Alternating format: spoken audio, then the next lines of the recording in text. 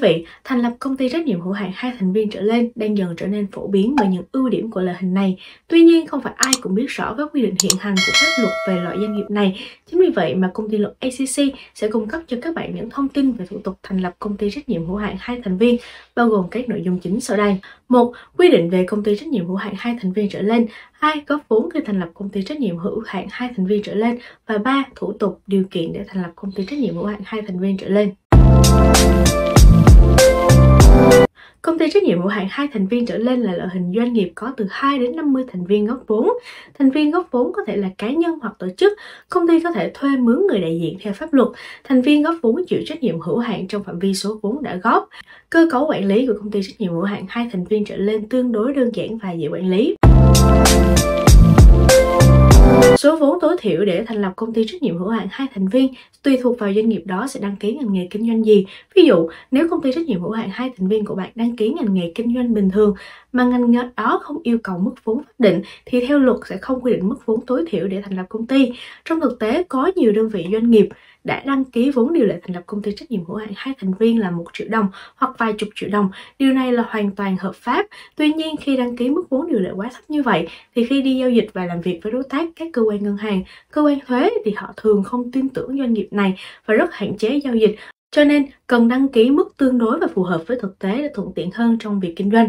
Còn nếu công ty trách nhiệm hữu hạn hai thành viên của bạn đăng ký ngành nghề kinh doanh yêu cầu mức vốn pháp định để hoạt động thì vốn tối thiểu để thành lập công ty trách nhiệm hữu hạn hai thành viên chính là bằng với mức quy định của ngành nghề kinh doanh đó. Quy định tại Điều 34 Luật Doanh nghiệp năm 2020 thì tài sản góp vốn là đồng Việt Nam, ngoại tệ tự do chuyển đổi, vàng, quyền sử dụng đất, quyền sở hữu trí tuệ, công nghệ, bí quyết kỹ thuật, tài sản khác có thể định giá được bằng đồng Việt Nam. 2. Chỉ cá nhân tổ chức là chủ sở hữu hợp pháp hoặc có quyền sử dụng hợp pháp đối với tài sản quy định tại khoản 1 điều này mới có quyền sử dụng tài sản đó để góp vốn theo quy định của pháp luật. Thành viên phải góp vốn, phần vốn góp cho công ty đủ và đúng loại tài sản như đã cam kết khi đăng ký thành lập doanh nghiệp trong thời hạn 90 ngày kể từ ngày được cấp giấy chứng nhận đăng ký doanh nghiệp.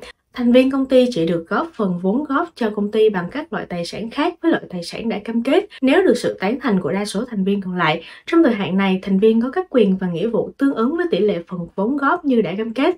Sau thời hạn quy định tại khoản hai điều này và vẫn có những thành viên chưa góp hoặc chưa góp đủ số vốn đã cam kết thì sẽ bị xử lý như sau. A. Thành viên chưa góp vốn theo cam kết đương nhiên không còn là thành viên của công ty. B. Thành viên chưa góp đủ phần vốn góp như đã cam kết có các quyền tương ứng với phần vốn góp đó. C. Phần vốn góp chưa góp đủ của các thành viên được chào bán theo quyết định của hội đồng thành viên.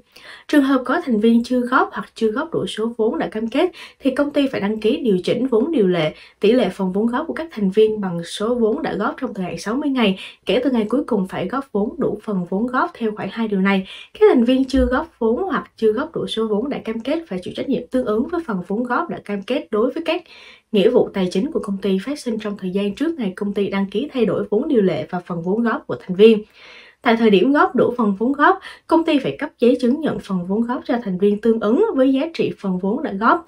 Trường hợp giấy chứng nhận phần vốn góp bị mất, bị hủy hoại, bị hư hỏng hoặc bị tiêu hủy dưới hình thức khác, thành viên được công ty cấp lại giấy chứng nhận phần vốn góp theo trình tự thủ tục quy định tại điều lệ công ty. Hồ sơ thành lập công ty trách nhiệm hữu hạn hai thành viên trở lên sẽ bao gồm một chứng minh nhân dân hoặc hộ chiếu sau y công chứng không quá 3 tháng, hai giấy đề nghị thành lập công ty trách nhiệm hữu hạn hai thành viên trở lên, ba điều lệ thành lập công ty trách nhiệm hữu hạn hai thành viên và bốn danh sách thành viên góp vốn. Chuẩn bị thông tin giấy tờ thành lập công ty trách nhiệm hữu hạn hai thành viên như hướng dẫn bên trên. Thứ hai, soạn thảo và hoàn thiện hồ sơ thành lập công ty trách nhiệm hữu hạn hai thành viên.